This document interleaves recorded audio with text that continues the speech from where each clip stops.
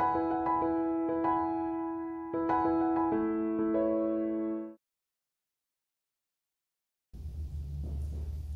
the words of my mouth and the meditation of our hearts be always pleasing in your sight, O Lord, our strength and our Redeemer. Amen. Amen. Please be seated. So, a while ago on the radio, I heard a man who was deeply passionate about what must be an almost useless supplement. It's almost useless. Now, there's a big difference between useless and almost useless. You see, it's iodine. And in your entire life, you need one whole teaspoon of iodine, which has got to be pretty close to useless, doesn't it? I, I can go through more coffee than that just getting out of bed in the morning. Uh, but without that one teaspoon, spread appropriately through your lifespan, all sorts of problems, um, mental development problems, children that you might have, have cognitive delays and all sorts of problems. So iodine, almost useless, but there's a big difference between almost useless and useless. And I feel like ethics courses are like iodine. They're about 99.9% useless and 1.1% really, really, really important. And here's why. Because most of the time, we're not as smart as we like to think we are. Most of the time, we don't think about things. We see something and we react, and 15 minutes later, the brain catches up and goes, Oh, that was a good idea. I don't know. Um, but that 0.1% of the time, the iodine moments, really important. For me, they happen about once every four years uh, when, we, when, we're when we're electing politicians. And I actually ask myself the question as a Christian, who should I be voting for? Uh, should, whose policies and ideas most closely match what I believe God would want us to do? You know, is it the Hunters and Fishers Party? Is it the Car Enthusiast Party? Is the Greens, Labours? Uh, you know, there's lots of them. Being honest, about the rest of the time, it takes my brain a good 15 minutes to catch up with any decision I've made. You see, what happens is we see something, it goes straight through our heart, and then the message trickles up to our brain as to what we've decided. That's how human beings operate, most of the time. Most of the time. And that's why it's so important to come to church. Odd segue, I know.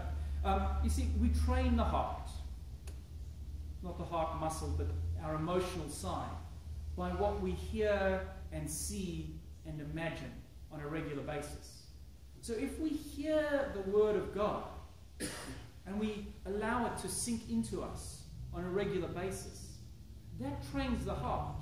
And so instinctively, we react correctly. That's a big part of why we say things over and over and over again in church. It trains the heart. It trains that part of us that makes the decisions a lot sooner.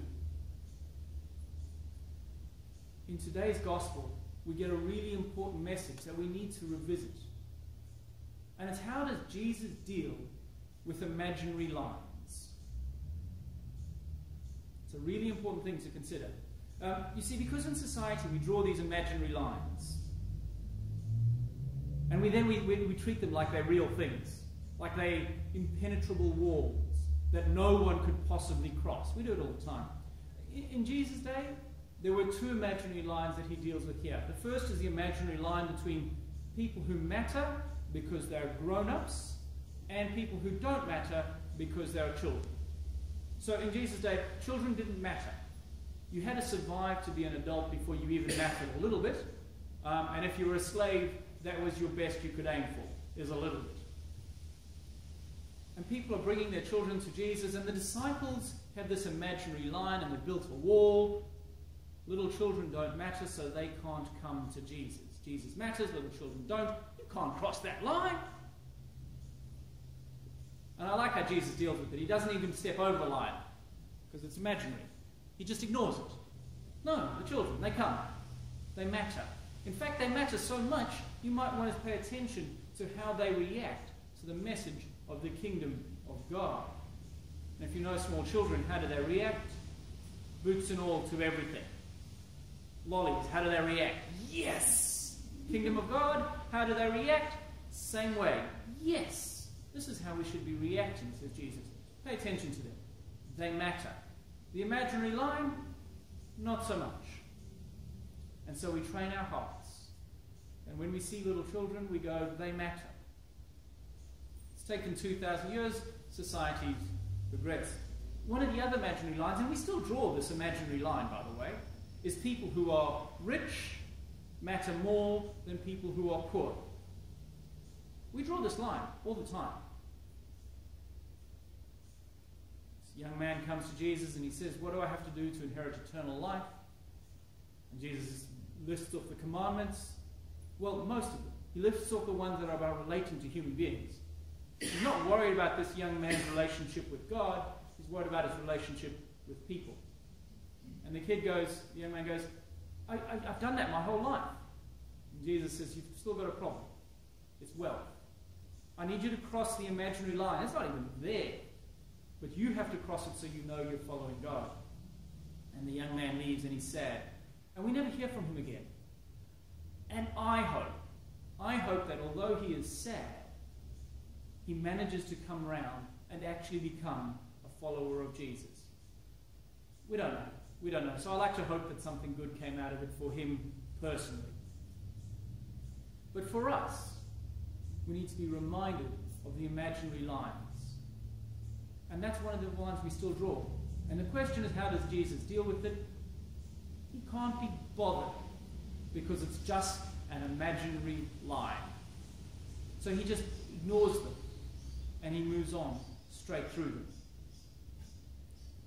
So the first thing we need to do is we need to train our hearts so that when we see people who society says aren't important, we recognize 15 minutes before our brain gets there that this person matters because they are valued by God as you and I are. Our heart needs to tell us that, but the brain will catch up later. It's good at um, rationalizing the decisions we make. And when we confront imaginary lines that might be preventing people from coming to God, we need to confront them. Either ignore them, if we're the ones putting them in place, or we need to speak against them. If society is so entrenched with that so in love with that imaginary line that it can't let it go. But we need to do these things.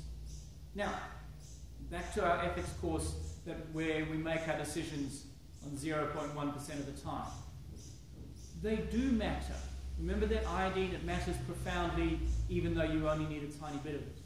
Ethical thinking matters because it's those moments where we start to look at the world with fresh eyes where we engage our brain that has been trained by our immersion in the love of God.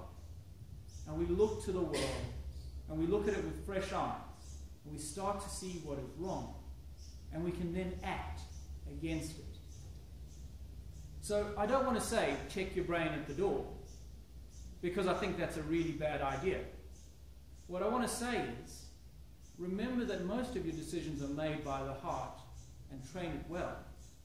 But bring your brain along for the journey because when that operates first, we have the opportunity to make incredibly profound changes in the world. Because that's when we start to look at the world and we recognize those imaginary lines are just that, a figment of our imagination. And we can speak courageously against them. And we can change the world. We can be like that young man we might be confronted by what we're asked to give up. But there will also be a reward for us in our relationship with God and our connection with the kingdom of heaven. So that's why church matters.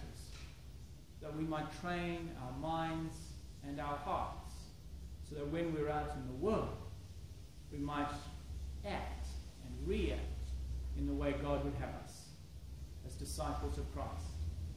In the name of God, Father, Son, and Holy Spirit. Amen.